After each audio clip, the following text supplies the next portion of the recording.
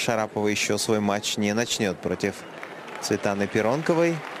И мы посмотрим именно на Первом канале поединок россиянки. Автографы раздает Карвин Мугуруса. Так, 17 этап Джиро де Италия. Не забывайте, прямо сейчас в прямой трансляции.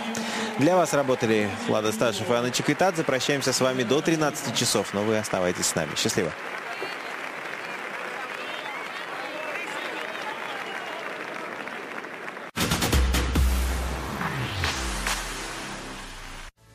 This program is presented by tennispoint.com.